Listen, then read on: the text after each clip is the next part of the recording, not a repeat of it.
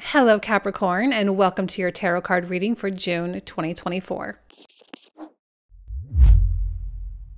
It is a fantastic big month, everyone. June is huge. We have Jupiter now in Gemini. We have the sun through there. We've got Venus. We've got Mercury racing through. We're going to have the activation of Cancer later on. We've got Mars in Taurus. So there's going to be a lot of activity that goes on. It's going to be a fantastic month to really see progress, to see developments, to see and feel that true sense of hope that these manifestations, that this lifestyle that you are hoping to cultivate is actually and truly possible for you. So I think generally speaking, there are going to be a lot of really wonderful things that happen for the most part. Um, and there's going to be this new sense of revival that kind of rushes through everything. So I think it's going to be a fantastic month. So as you're watching these tarot card readings, you are free to watch for either your sun, moon, or rising sign. However, when I do reference transits, probably you know, the rising sign is going to be the most accurate in terms of house placement. So just keep that in mind.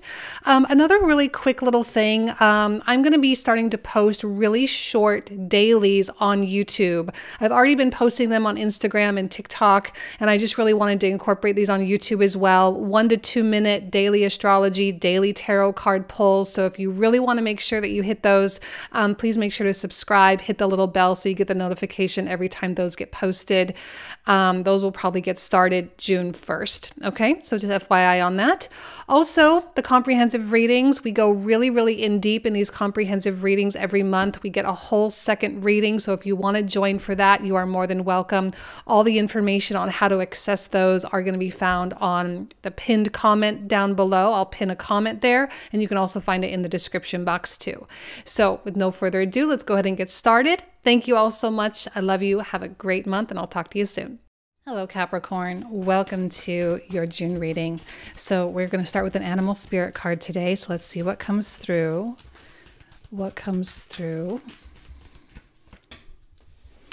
says do a walking meditation each day for the next week. Okay, that's kind of a really straightforward card. It's very instructive.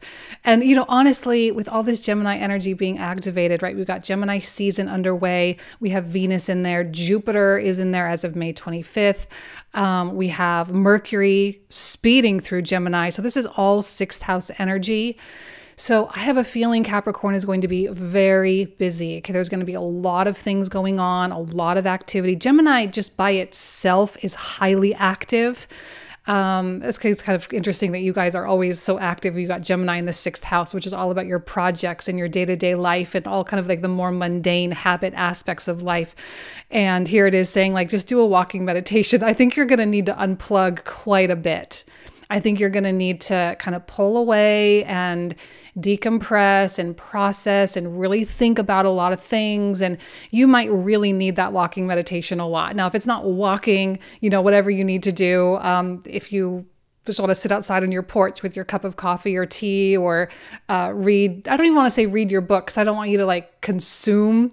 I think it's really important to just be with yourself be with nature, be with your pets or your children, right? Just be really present in calm. If it's children, like calm, okay, like make sure it's it's kind of um, a nice, relaxing type of environment. Because I think you're going to need that. I think you're going to need your out of the box minutes. You're going to need that time. So, what does the moon card or the moon deck have to say for Capricorn? patience. Okay. I, you know, I do, I think there's going to be a lot of like whirlwind kind of energy for Capricorn. Uh, like your projects are going to just whoosh kind of go and your things at work are going to go. And, you know, and when you deal with other people, especially, yeah, you are going to have to exhibit some patience. You are going to have to, you know, really think about having forgiveness and compassion toward other people and the, you know, because I know Capricorn does like to have a lot of control over things, and sometimes other people don't care as much as you care. And, you know, there's always these strange dynamics going on. And having patience with yourself, having patience with other people, especially, you know, really recognizing other people's humanness. Now, that doesn't excuse bad behavior or excuse, you know, people not doing what they say they're going to do or fulfilling their role. But, you know, we're all human. We're all really doing our best and we're all really feeling the effects of this Gemini energy. And please keep, did I say this already? I'm sorry if I'm repeating myself now. I can't remember if I said it. But right, we got the sun in Gemini, we got Venus in there, Mercury is going to be speeding in there. And the big one really is Jupiter, right? Jupiter coming into the sixth house as of May 25th. Huge transit for the year. And, you know, this is going to be something that's just really powerful, really potent, and it's activating all of that day to day type of stuff for you in the sixth house. Okay. So there's just going to be a lot going on. So let's see what's coming through with the tarot cards for Capricorn for June 2024. Capricorn, June 2024. Well, Capricorn card, first and foremost with temperance, temperance with patience, yes.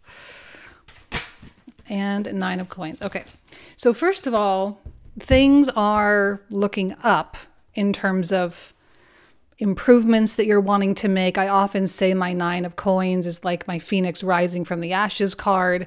So, you know, there are things that are gonna gonna start moving in the upwards direction. Okay, they're going to start growing, they're going to start developing, start evolving, all of that.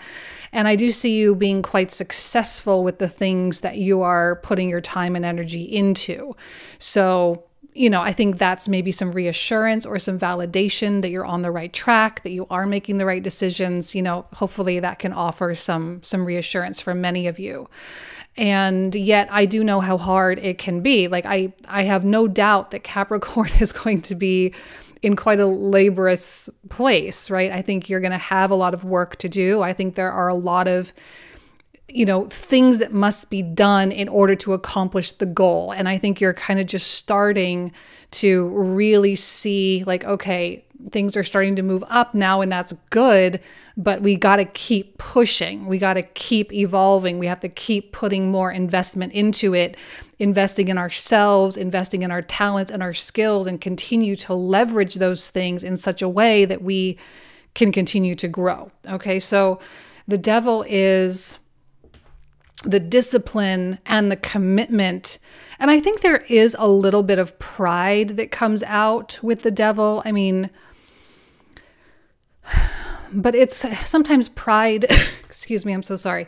Um, sometimes pride can be a good thing because it's like, well, I want to do this because it's who I genuinely believe that I am. And I think the ego is creeping in a little bit, but weirdly, it feels aligned with the soul. And I don't know that we say that often enough. The ego and the soul can be aligned sometimes. They're not always in opposition, in spite of what we may think. But I do think there's a substantial alignment happening, and I think it's really beautiful. And when you are aligned like that, that's when real magic happens. But again, the, the, there is kind of a humility too of like, okay, this is going to be a lot. And some Capricorns are going to shrink with just this, and they're never going to actualize the nine of coins ever, right? Because this gets too hard and they are going to quit and they're going to run away and they're going to say, well, maybe that's really not for me, even though it is, and they know it is, but they're going to think it's not because it's challenging them a little too much, a little too hard. And I just don't think that the Capricorns here on this video watching that want that to happen. so, you know, but again, even with temperance, I don't think there's a lot of stress. Like here with the devil card, there's a lot, but you don't have to be stressed about it and you don't have to have anxiety and you don't have to be nervous or whatever about it. I think that if you do feel those types of feelings, the way you label them and the way you identify them is really, really important, right? If you're feeling anxious and you're feeling stressed, maybe it's just your body saying there's a lot of energy here. And instead of letting the energy be labeled as anxiety or stress, say, well, maybe I can channel that energy. If it's just energy, let me move it toward something practical. And I think being practical with all this sixth house energy and being productive and being effective and efficient is something that's just is just what's happening. I don't even know that you need to do anything about it. It's just what's happening with the sixth house activation. Okay, so it's just going to get channeled as long as you're aware of it and as long as you don't label it inappropriately. Okay, uh, so I'm kind of sensing like this progression of like, hey, there's a lot, but it's okay because I'm going to be successful you know, so, but again, even still, patience, that devil card, because sometimes we can get uh, really frustrated, and that's when we can micromanage things and we can really try to exert a lot of force into things. You know, if we're trying to exert force into things that really just don't want to be forced, go take a walk right? Like that's that's when the ego and the soul kind of go head to head a little bit because then your ego is like ah but i want it to be the way i want it to be. And it can get angry and then it can again go in that negative direction. So i think it's really important for you to understand how alchemical and how artistic that temperance card actually is. This is art okay this is true art like when you feel that control, micromanaging. Oh my gosh, I hate that this is going on. Oh my gosh. And then saying, okay, I'm going to take a step back. I'm going to alchemize this. I'm going to transmute this into something more productive and redirect and kind of go in that other direction. Okay. I think that's going to be a critical thing for Capricorn. So, daily walk. Daily walk. Okay. What else? Oh, we got three. Okay, beautiful. Loving the Two of Cups in the middle. Um, because it really speaks to your alliances and it speaks to your communication and it speaks to collaborating. And with Gemini now being active, there's a social element here. With Jupiter, a very social planet, coming into a kind of a more social sign, this is a good thing. Okay. For the past couple of months, I really say it's like March, April, and May, um, I've been talking about how independent and self-reliant and so much on your own shoulders and it's aries and taurus right? What can we say?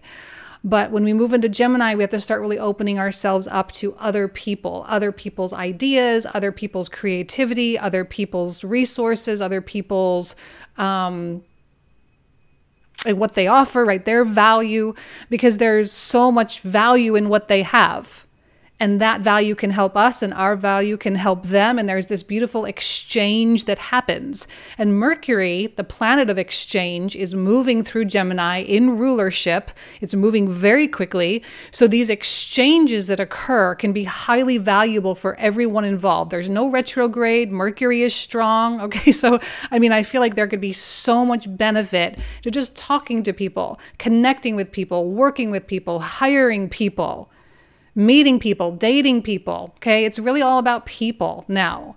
And we want to get involved with others um, in terms of what they have. And it doesn't have to be always face to face. You know, a lot of us are online and that's fine. But, you know, there there comes a time when we need to acknowledge that, you know, maybe other people's ideas, other people's um, energy, other people's souls has something of so much value and so much benefit that it can help both of us. Okay, this is really of mutual benefit here.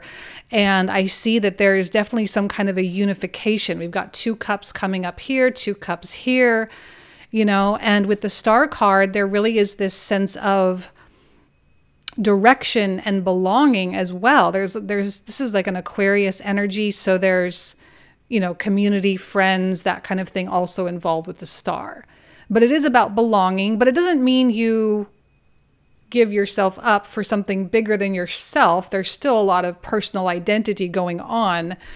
Um, but it really is about shining bright for the world to see. And what better way to do that than to surround yourself with people who lift you up? And really being around people who lift you up is super, super important, you know? And with the Fool card, there's a big leap of faith that I think you're going to need to make at some point throughout June. That there's something big going on, there's something a little scary. We kind of got to kind of come back to that devil card consistently and say there's there's always going to be a little bit of a fight when that devil comes out. There's always going to be a little bit of a, a resistance that happens. So you might be resisting this fool card a little bit, but I don't see it being so resistant that you don't jump off this cliff. I think you do. I think you will because the nine of coins is here and the temperate I, am really happy this temperance card came out because it does indicate a redirection to me like that's the word that's coming to my mind right now it's a redirection so you're redirecting yourself toward things that you know are in your best interest, which is the Two of Cups.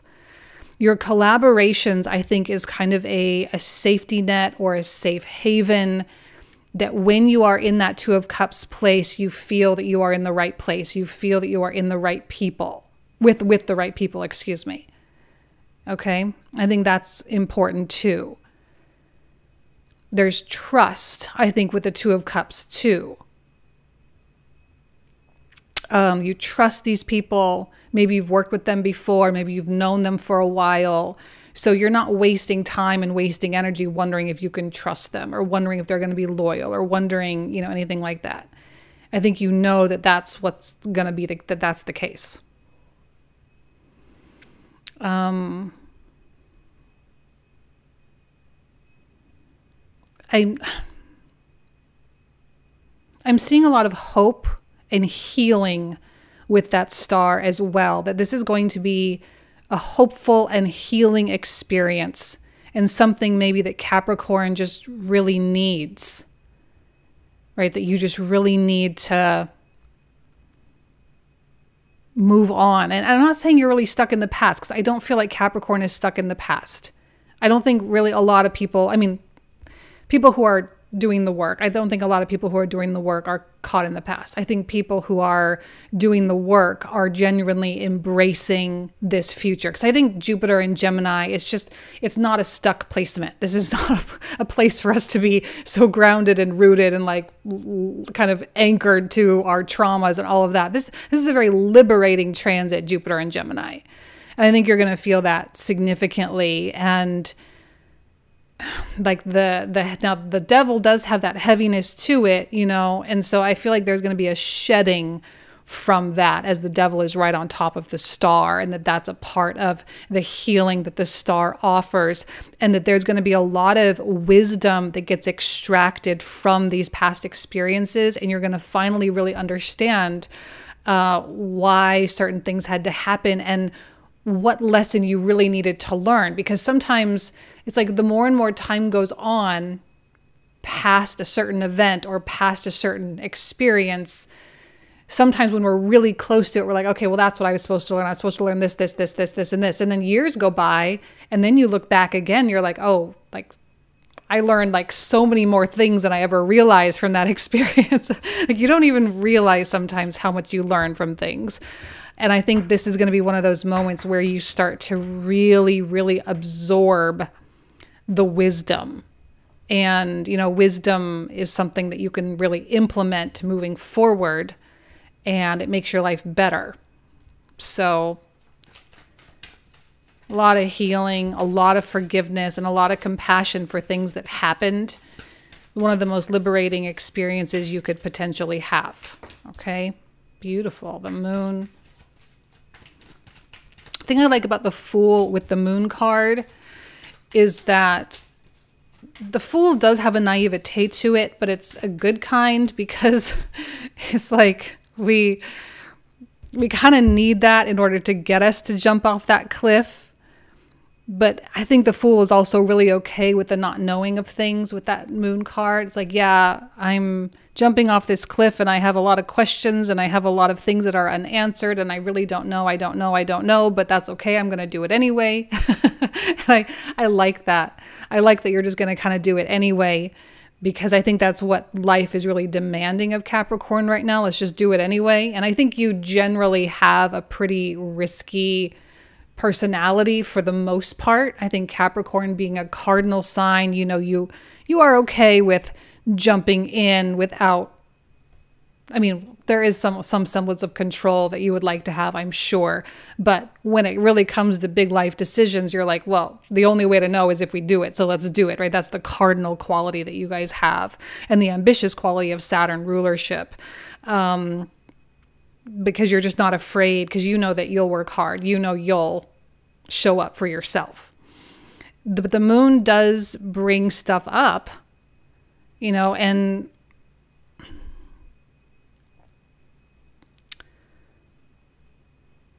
it comes back to the devil again. It comes back to the doubt.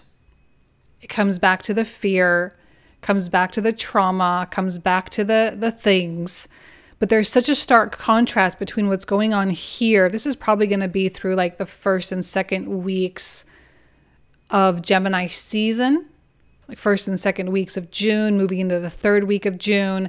And then as we move in through the last week of June, moving into Cancer season, that's going to be the season opposite of you.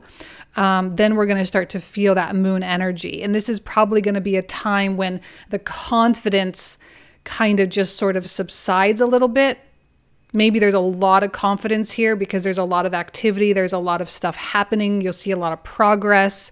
Uh, maybe you do make this big decision, right? We'll see what the clarifiers have to say. But you know, with the moon, it's like okay, then then things kind of get kind of real because there's this big whirlwind of energy, and then you're like, oh, okay, well now we now we have momentum, and again things get real. Okay, now we got to really do something with this. Now we got to really commit and now we got to really put our backs into it. We got to roll up our sleeves, get our hands in the dirt, and we got to really go for it. And while all this is lovely and great and social, and you're meeting all these wonderful people and da da da da da, and that's great, but now it's like, it's go time. okay. now it's go time. Now you've got all the ingredients. It's time to bake the cake. Okay. And some people are going to stare at that table full of ingredients and be like, this is hard. I don't know what to do. This is scary. I don't know what to do. What if I fail?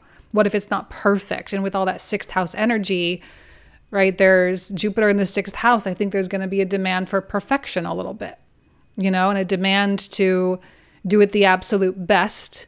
And sometimes that can be debilitating. But I also think that is what pushes you even more with the Eight of Wands because even from that moon card, even from the big question marks and all the stuff, you're still propelling forward. Really, the Page of Coins is like a day by day, and I don't think you have a choice. That's just sixth house.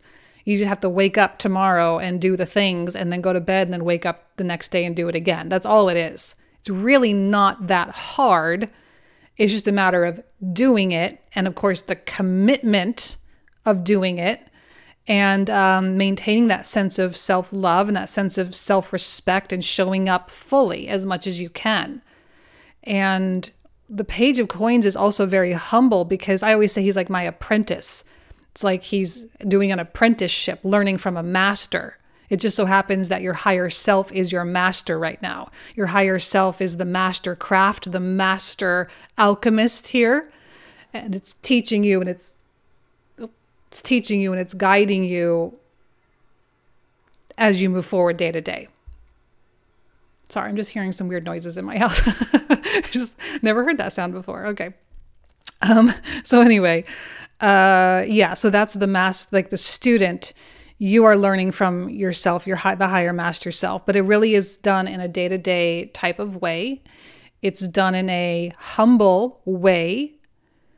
And it's done with that attitude of I've got a lot to learn. And with the Fool card, remember, the Fool is like the beginning, which then indicates an end of some kind, and the end of a certain type of obstacle, the end of certain type of problems, and then the beginning of new kinds of problems, and the beginning of new lessons and new successes and new amazing things too. It's all new but you know it's just it's just new in general. And so knowing that you're kind of at the bottom of a new mountain range right? Because we got the mountains in the back. So you're kind of at the bottom of new mountain range uh, a new mountain range.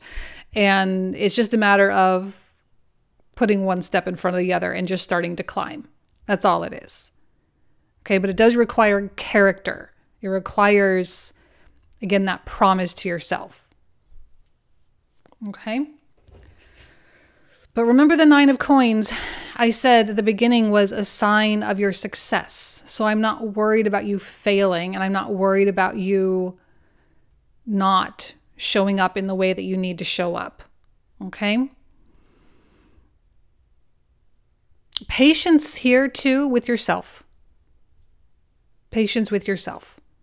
Because you may want things to move very quickly and you may get down on yourself a little bit when these things kind of start to suck you back a little bit. But have patience, have that forgiveness, have compassion, go for a walk, disconnect, go be out in nature, turn off your phone, turn off all the noise, and just have that moment to believe in yourself.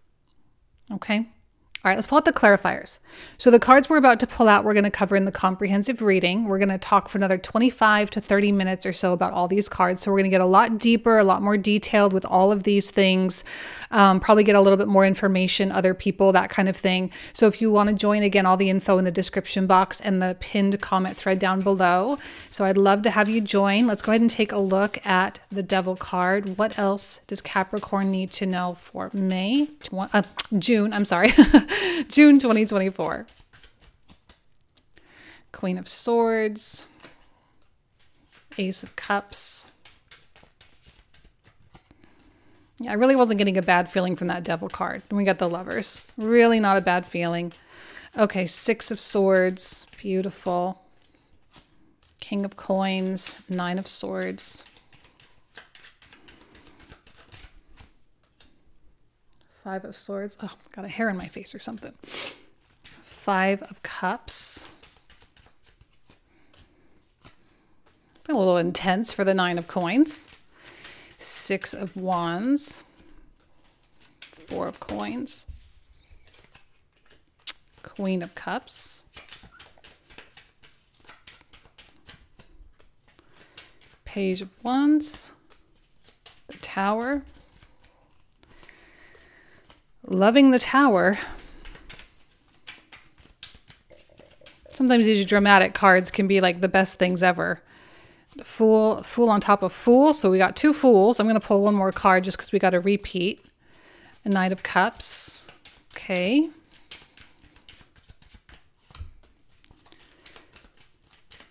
The Moon. Or, I'm sorry. on top of the Moon, we have the Seven of Wands. Uh, Queen of Coins, that's the Capricorn card. Five of Wands, okay, that's the patience stuff. Knight of Swords, beautiful. Three of Coins. We are getting a few other people involved here. Uh, Ten of Wands, the Emperor, Seven of Coins, and another Moon card. Okay, so this is where we're going to pick up. So again, if you want to join, all the info in the description box in the pinned comment thread down below. Thank you so much, Capricorn. Have an amazing June, and I'll talk to you soon. Take care.